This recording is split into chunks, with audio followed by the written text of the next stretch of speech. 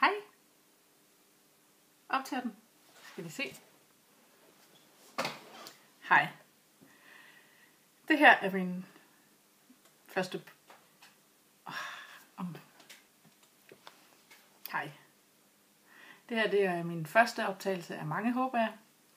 Og øh, jeg hedder Elisabeth Solskin. Og jeg er vild med håndarbejde og vil fortælle alt, hvad jeg oplever omkring det. Jeg, har, jeg følger en anden dansk øh, videoblogger, som hedder Ullen Farmor, og hun udfordrer, opfordrer til, at der skulle komme nogle flere i Danmark, fordi der er ikke så mange i Danmark. Så, og jeg har gået og tænkt på det længe, og det,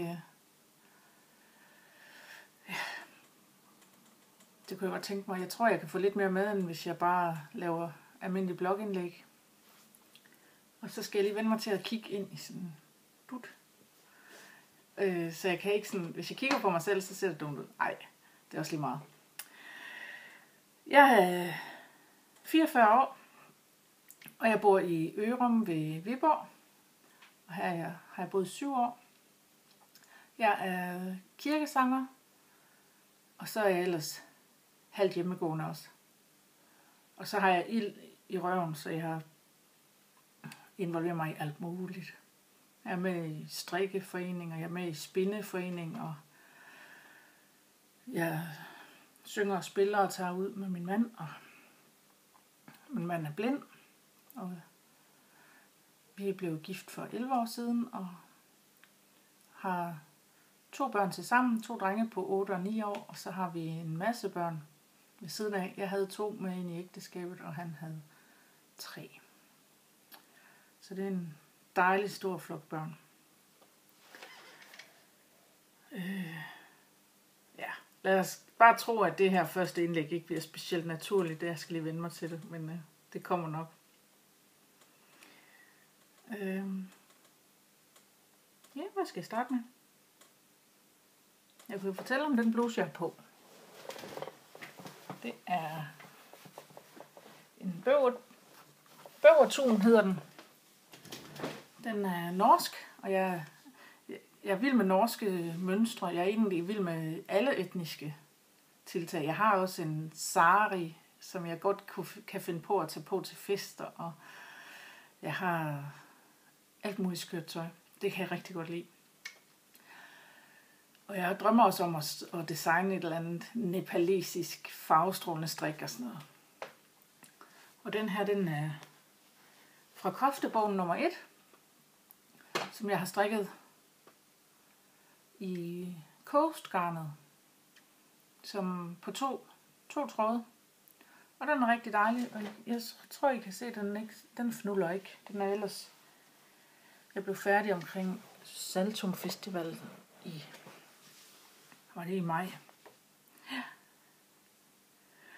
Ja. Og i den forbindelse, der er der jo lige udkommet en ny koftebog.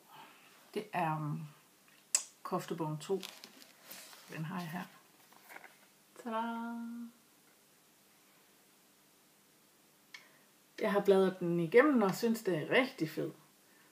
Jeg synes, den der grønne farve, det er, jeg er altså ikke sådan til sarte farver, men den, det får helt lyst til at eje sådan en grøn bluse. Øhm, der er endnu flere modeller i, og jeg har ikke fortrudt, at jeg har købt den. Jeg synes, ja, hvad får jeg strikket? Får jeg strikket fire af de to bøger i alt til sidst, eller seks? Og så er der jo nok 60, der er nok, nej, 60 og 40, så der er 100 at vælge mellem. Men jeg synes, altså de er så smukke, og, og og det er også historier, der er rigtig mange historier med, om, omkring, hvor, hvor de kommer fra. Jeg synes, det er ærgerligt, at vi i Danmark ikke har sådan noget natur, eller hvad hedder det, vi har ikke samme strikke historie. Eller, ja, vi har, øh, vi har de der nattrøjer, og, og, som har sådan mønster indstrikket, og, og det, det gjorde man i, det, for at det fremgår, fremstår rigtig fint, så er det, øhm, så er det, så er det strikket i sådan noget rigtig hårdt uld, som krasser. Og i dag, der gider folk ikke at have krasul, så, så, så den har ikke fået en renaissance, sådan som jeg kunne drømme om. Jeg vil rigtig gerne have sådan en rød nattrøje. Og jeg tænker også, altså jeg skal nok få det gjort på et eller andet tidspunkt. Jeg, jeg har tænkt sådan på, om silke måske alligevel, øh, øh, ikke den glatte, men sådan en, den anden, jeg ved ikke, hvad den hedder, sådan soft silk, den øh, har måske lidt det hårde look, som, som, den, som ulden også har. Så måske strikker jeg ind i den en dag. For jeg, jeg har mange planer, og jeg har også mange projekter i gang. Og jeg er vist meget normal, ligesom alle andre strikker. Ja. Øh. Jeg har lige strikket et par strømper. Øh. Lidt mod modificeret fra Sandnesgarn har øh, det mønster, er for Sandnes. Jeg har også forkortet det lidt. Det var knæstrømper, men jeg synes bare, øh, jeg vil have nogen, der gik lidt op ad lægen. Og det er strikket i en alpaka strømpegarn, som er rigtig lækker.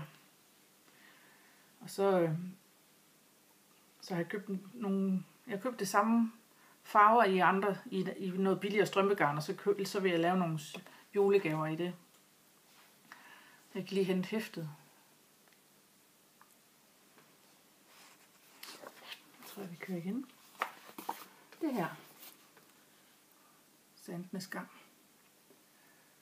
Og det er egentlig et, et fint nok hæfte. Der er flere ting, jeg skal have strikket i. Jeg elsker at strikke votter, norske vanter og strømper.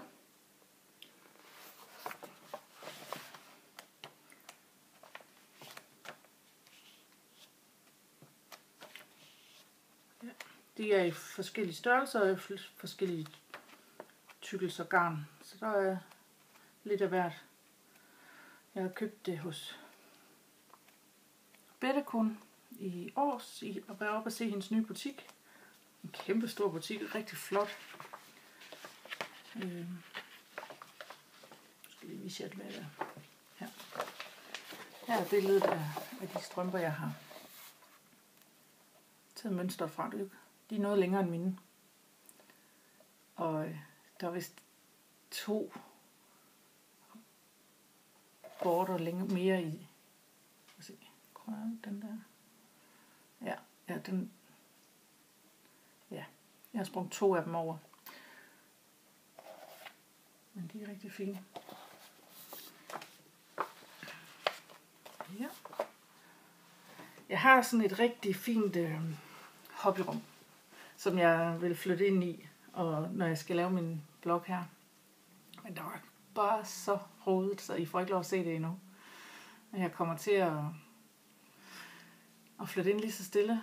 Så kan I få lov at se et lille hjørne af mit, mit rum, og så kan I få lov at se lidt mere, som jeg får ryddet op til det. Så det her det er også sådan lidt en motivation til at få, få ryddet op derinde. Jeg har et kæmpe stort rum. Øh, fordi jeg har sådan, jeg, vil, altså jeg synes, det er så spændende det, der sker med strik og håndarbejde i det hele taget. Altså, der er hele tiden noget nyt at lære og nyt, nyt at, at blive tændt på. Øh, jeg er lige ved at strikke nogle vanter til mine drenge. Fordi dem kan man godt bruge. Rigtig mange øh, de der tryllehandsker plejer egentlig at, at, at købe. Men øh, jeg havde egentlig lyst til at prøve at strikke nogle helt enkle vanter, og det er strikket i, i tyk alpaka fra Garn Pusher. Og øh, lavet med sådan en øh, påsat tommelfinger, så, så det er lige meget, hvad for en hånd de har den på. Og så, jeg har ikke målt helt op, fordi det har været små nøgler, men jeg, jeg tror, jeg tror en nøgle, 50 gram er nok.